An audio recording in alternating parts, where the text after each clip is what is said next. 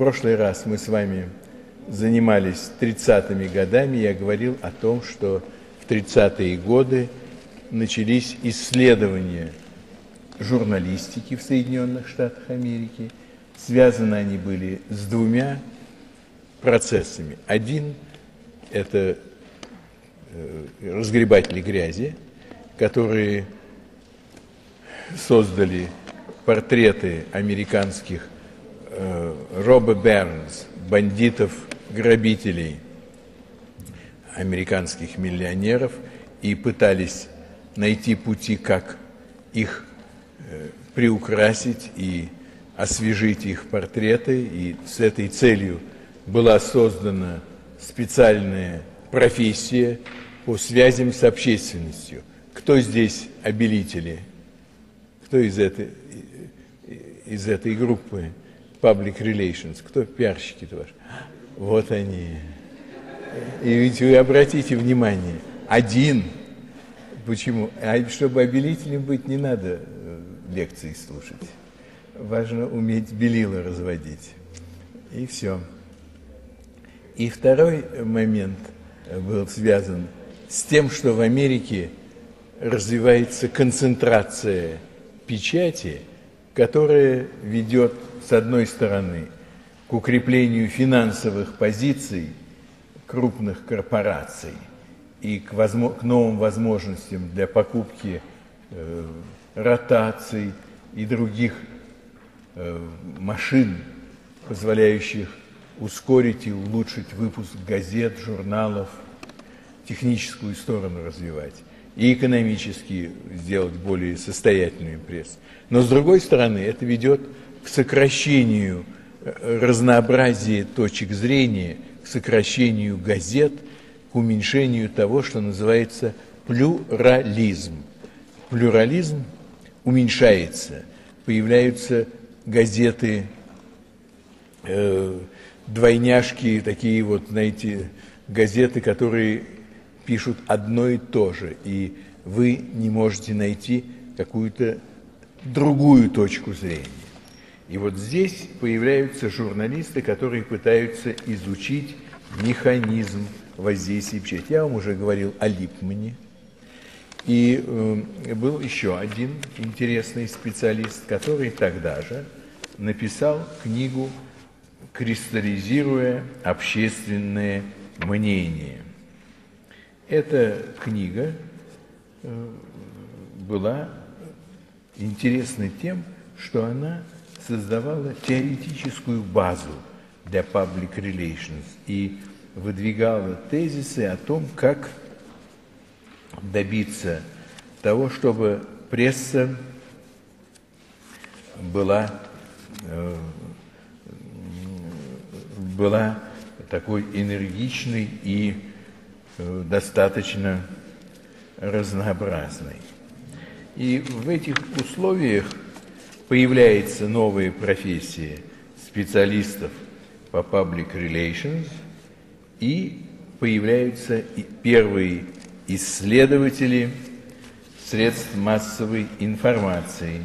И эти исследователи пытаются найти ключи к тому, как управлять общественным мнением.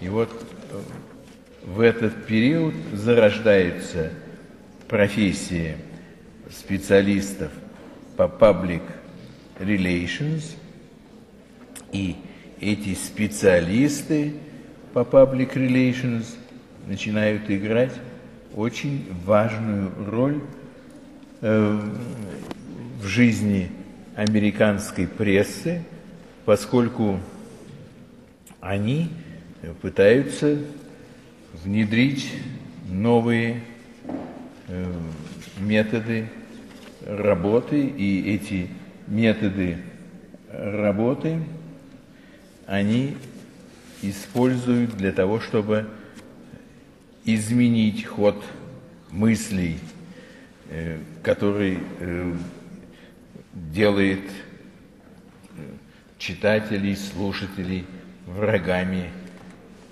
крупных монополий. И э, вот эта книга, кристаллизируя общественное мнение, Crystallizing Public Opinion, была написана известным специалистом Бернайсом, тогда же, когда и книга Public Opinion.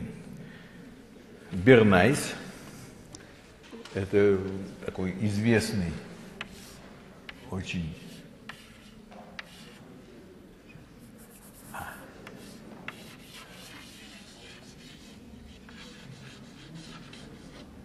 человек написал вот эту книгу «Кристаллизируя общественное мнение» и э, стал, я бы сказал, главным теоретиком этой новой профессии. И, конечно, э, его звали Эдвардом, и он написал книгу вместе со своей женой Дорис Флейшман. Все они работали в одной и той же газете «Нью-Йоркская трибуна» и Липман, и Фляйшман, и Бернайс. Бернайс приезжал в Советский Союз, учил наших специалистов искусству пропаганды, но он был очень энергичным и сильным человеком, прожил до 102 лет. Поэтому эта профессия, public relations, обещает тем, кто ею занимается, вот этому молодому человеку, который сидит с ноутбуком – долгую жизнь. И ему, конечно, надо все записывать в ноутбук, потому так он не запомнит к 102 годам, что он здесь слушает. Тем не менее, я должен сказать, что американские исследователи массовой коммуникации э, создали новую профессию, и она преследовала цели не только улучшения, э, скажем, образа крупных, представителей крупного капитала. Но она была важна еще и для того, чтобы э, понять механизм действия общественного мнения.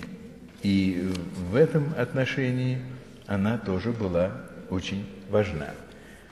Э, этот, эти исследования положили начало разработке теоретических проблем журналистики, воздействия газет и журналов, а потом радио и телевидение, это уже в 40-е и 50-е годы. И, конечно, эти исследования велись не только с точки зрения public relations. Эти исследования велись с целью изучения эффективности деятельности американской журналистики – Почему интересовала так эффективность э, американских исследователей и владельцев средств массовой информации? Связано это было с тем, что не всегда публикации и большое количество публикаций в защиту того или иного, скажем, кандидата на выборах приводили к успеху. Оказалось, что недостаточно опубликовать материалы благоприятные о том или ином кандидате, для того, чтобы обеспечить его избрание. Количество и э, качество этих публикаций не помогали тому или иному кандидату. Задумавшись над этим, известный американский специалист Лазерсфелд проанализировал итоги выборов в Соединенных Штатах в 1936 году э, выборов президента. Были два кандидата. Кандидат республиканцев и кандидат демократов. От демократов был Рузвельт.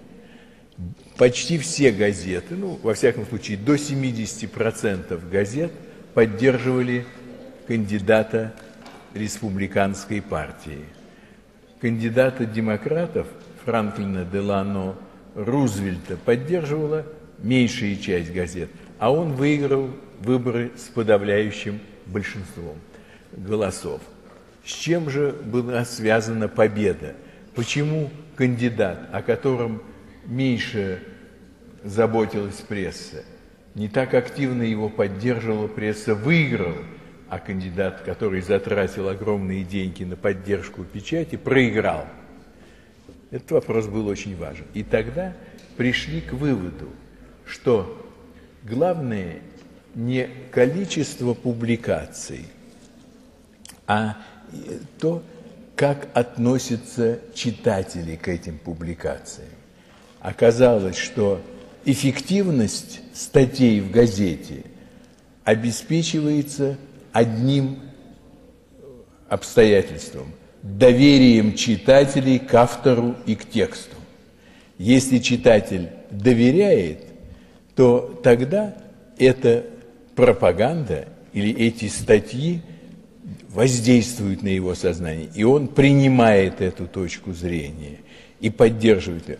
А если он не уважает или не ценит автора, относится к нему отрицательно, то эти публикации не воспринимаются положительно.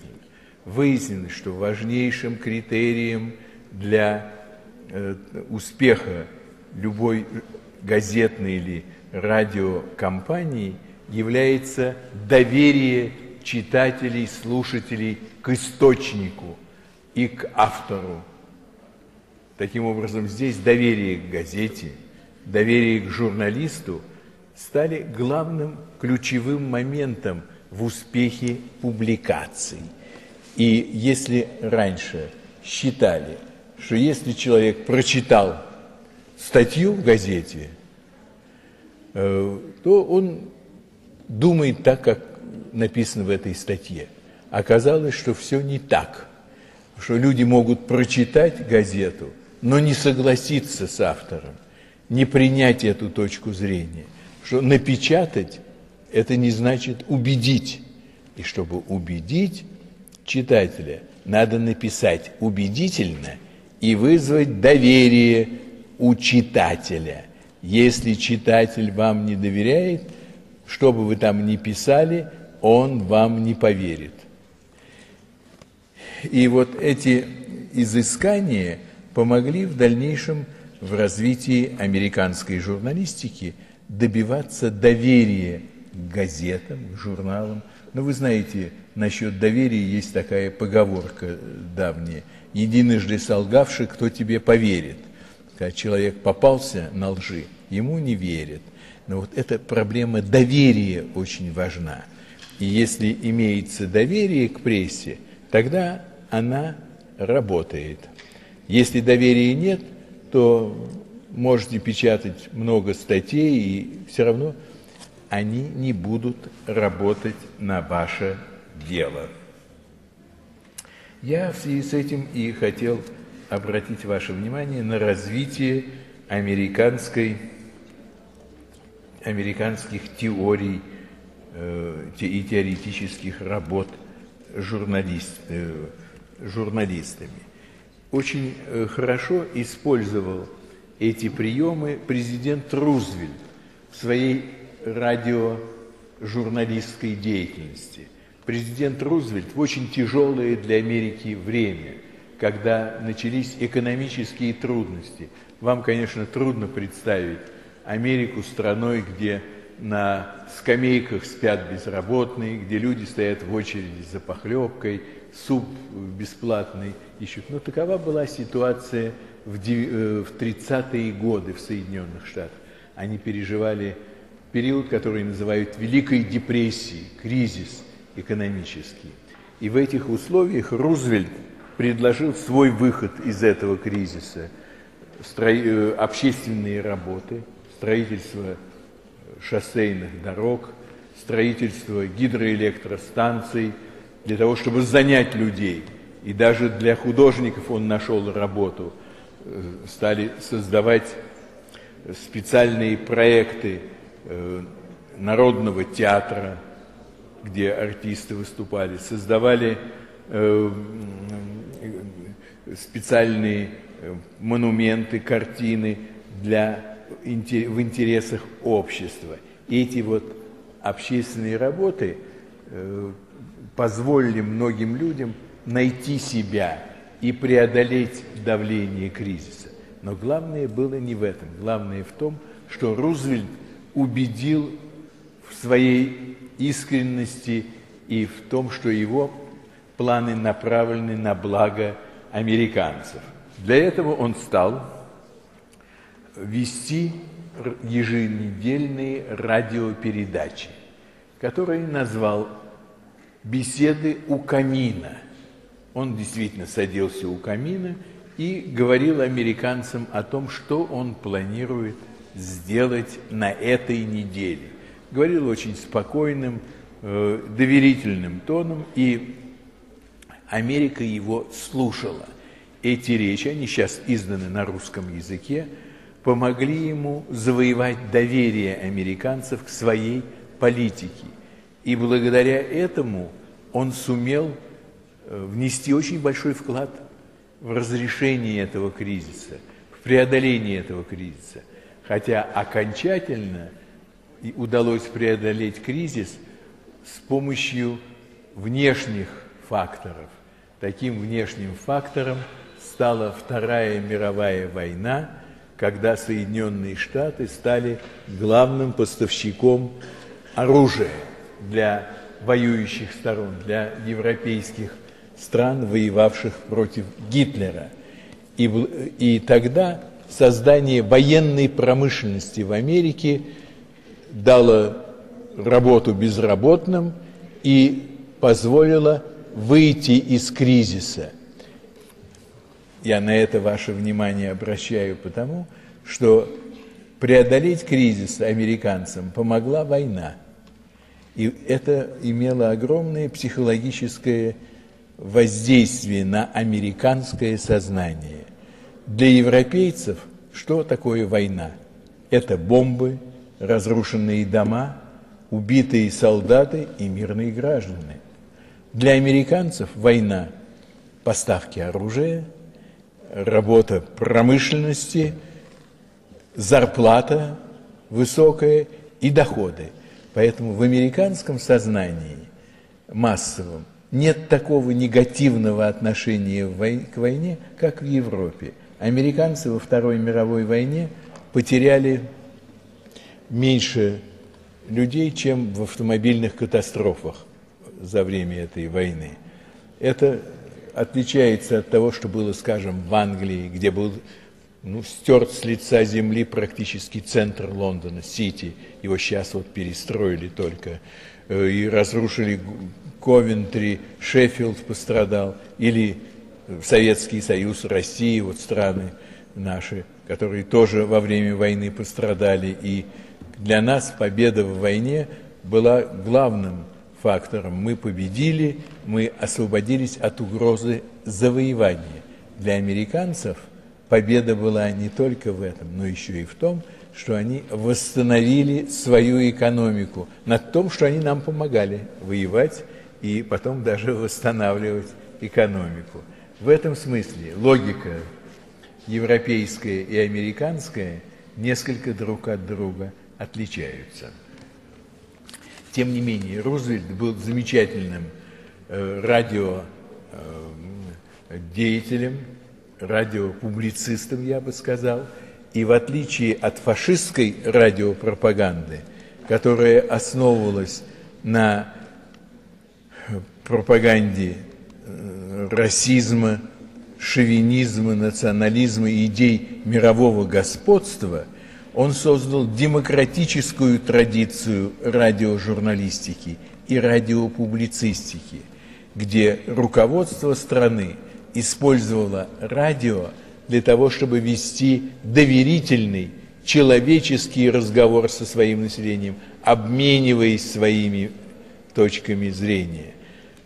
У немецких фашистов был э, другой стиль это была пропаганда, это было внушение взглядов, навязывание взглядов. А у Рузвельта был диалог.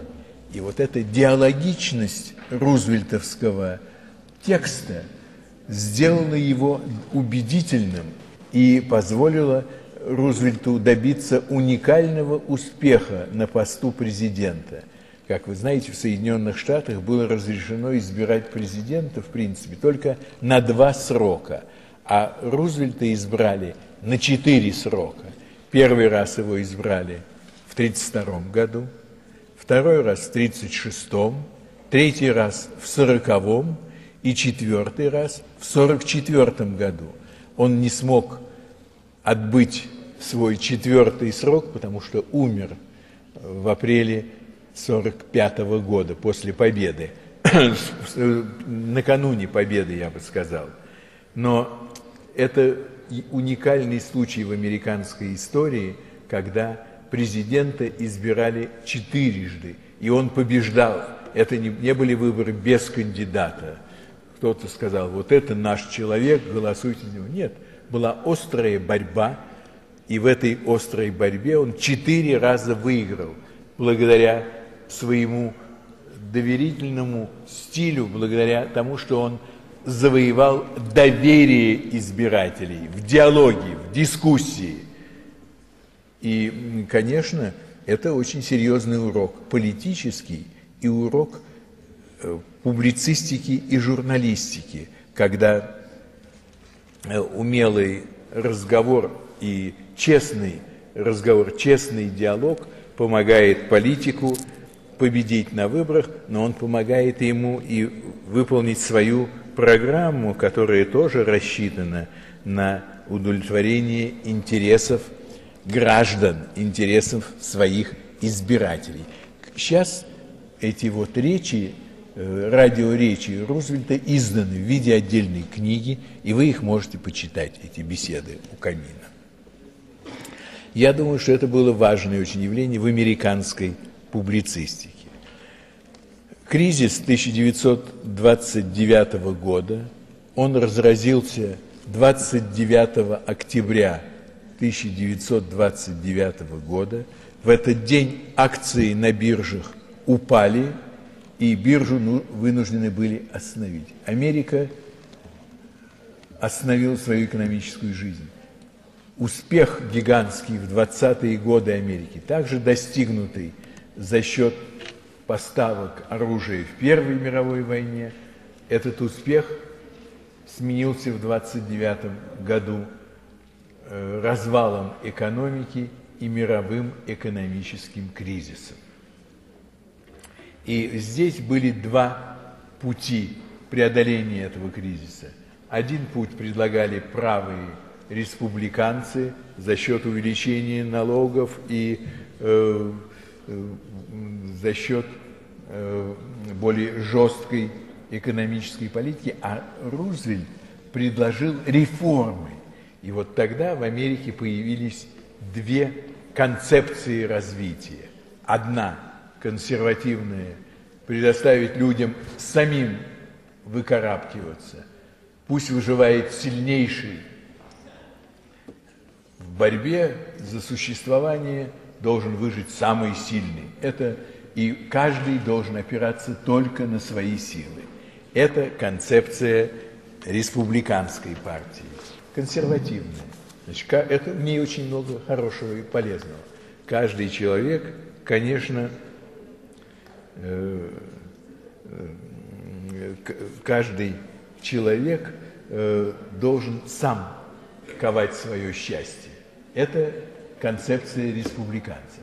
А демократы говорят, конечно, каждый должен счастье. Но есть люди с бицепсами, сильные, здоровые, они это могут, а есть слабые, хилые, больные, им надо помогать. Для этого нужны реформы, для этого нужна помощь государства.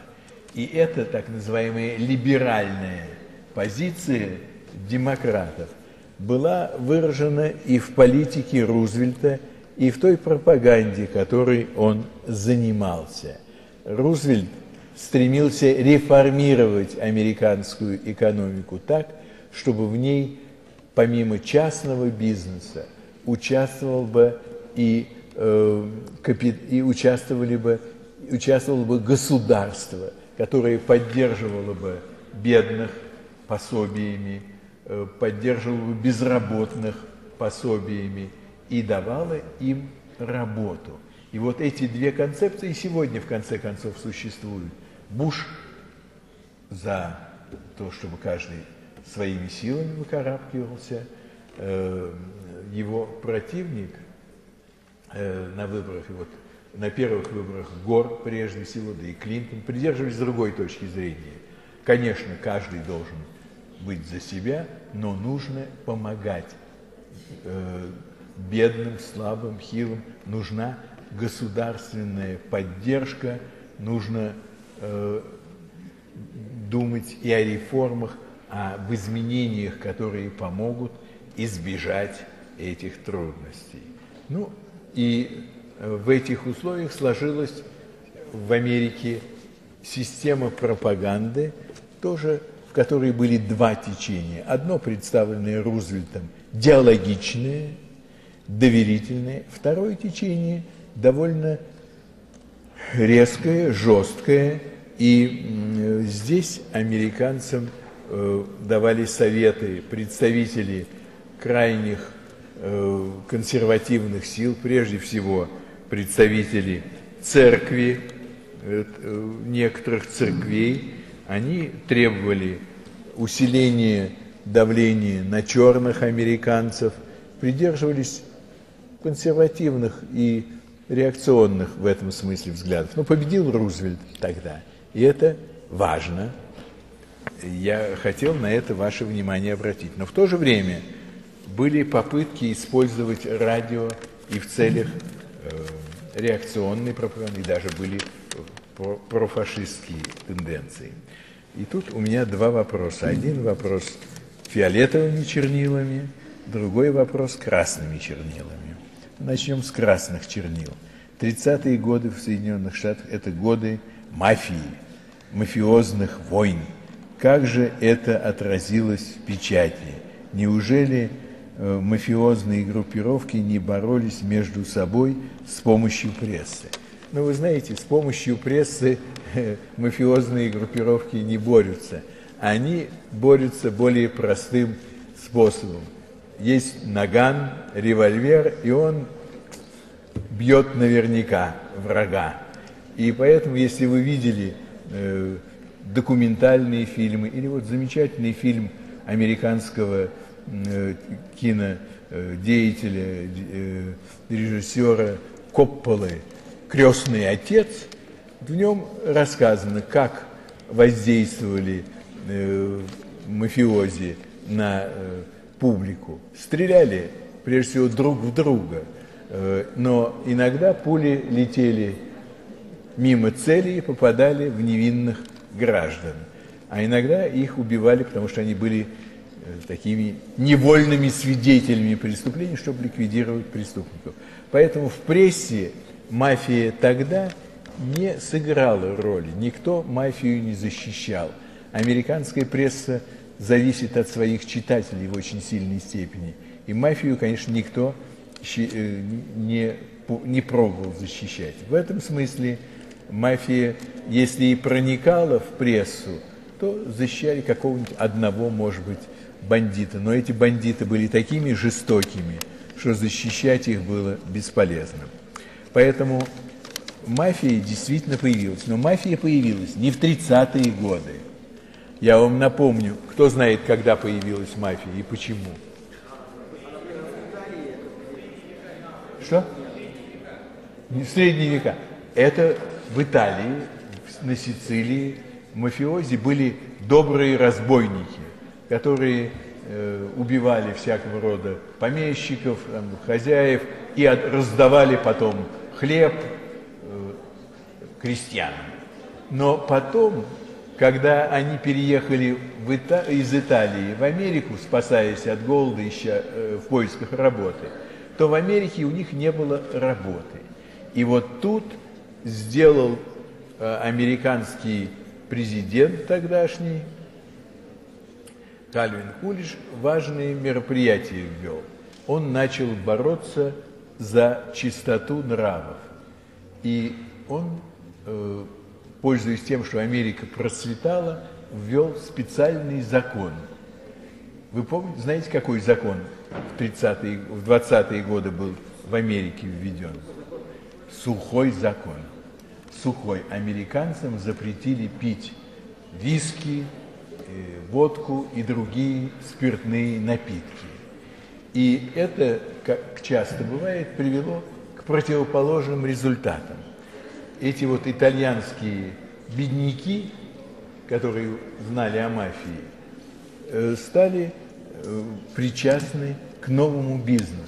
Если есть запретный плод, есть всегда стремление к нему и овладеть этим запретом. И были, поскольку пьяниц везде очень много, и Америка не является исключением, то пьяницы готовы были платить э, большие деньги за э, спиртные напитки. И они э, не могли их купить легальным путем, и они начали их ввозить из-за границы. И для этого они создали нелегальные организации, которые, организ... которые и создали сеть распространения этих спиртных напитков. Виски в основном, водка еще не была в ходу в Америке. И вот эта сеть был, принадлежала, в эту сеть входили только люди, которые отчаялись найти себе место в жизни. Им было все равно, лучше заработать, чем умереть. Но они готовы были и умирать, если это приносило им деньги. Вот в, в эти структуры вошла мафия – итальянское э, меньшинство в Нью-Йорке стало активно участвовать в торговле спиртными напитками. И они добились известных финансовых успехов в этой торговле, и тогда возникла эта мафия, базировавшаяся на подпольной торговле спиртным. Вот тогда, вот в 20-е годы появилась мафия. Вот вы пишете, что в 30-е. А в 30-е годы она уже существовала, и Рузвельт с нею боролся. Наиболее известным таким бандитом, мафиози, был Аль Капоне, который господствовал в городе Чикаго. Ну вот, и с мафией боролся Рузвельт. Ну, вы понимаете, что сухой закон не мог долго существовать, его пришлось в конце концов отменить. И в каждой стране, где вводится сухой закон, он приводит только к негативным результатам. Потому что запретами бороться с этим невозможно. Нужны другие методы борьбы, но поскольку мы занимаемся с вами не э, проблемами торговли э, спиртным, а проблемами журналистики, это уже выходит за пределы наших интересов. Я должен только сказать вам, что мафия возникла в 20-е годы, в 30-е годы она активно действовала. А, во вре... а после войны мафиози сыграли важную роль в борьбе против итальянских фашистов на Сицилии. Когда американские войска высадились на Сицилии, то местная мафия связалась с американской мафией итальянского происхождения – и они участвовали в изгнании немцев и фашистов из Сицилии. Это не, не, не реабилитирует их, но просто, знаете, в истории много парадоксов. Это один из таких вот парадоксов, которые, может быть, полезно знать. Но сами по себе мафиози возникли в, 30, в 20-е годы, в 30-е годы с ними боролись. Дальше, следующий вопрос касается другой темы – как американцы посмели пойти по пути, на нарушение Конституции и четыре раза переизбрать Рузвельта. Ну, от нас это не зависело и не зависит. Так решили, потому что Рузвельт решил неразрешимую задачу, почти такую же задачу, как квадратура круга. Вы представляете, кто-нибудь смог разрешить эту проблему, он был бы не просто Нобелевским лауреатом, а всем, уникальным бы детям. Но никто не разрешил эту проблему квадратуры круга. А вот проблему э, депрессии, кризиса Рузвельт разрешил. И поэтому в чрезвычайных условиях американцы приняли специальный закон о том, чтобы во изменении Конституции четыре раза можно было избрать Рузвельта, а потом приняли новый закон, по которому подтвердили запрет на избрание э, э, больше, чем на два срока президента. И когда Клинтон переизбирался, многие американцы считали, что он был лучшим президентом, хотя у него были свои слабости, как вы знаете. Он очень любил таких же вот людей, как здесь сидят, и э, это ему доставляло как, наверное, приятные минуты, так и массу неприятностей. И его поэтому строгие ревнители морали не хотели бежать. Но многие американцы, которые думали об экономике, говорили, что давайте его изберем, хуже не будет. Но закон нарушать никто не позволил.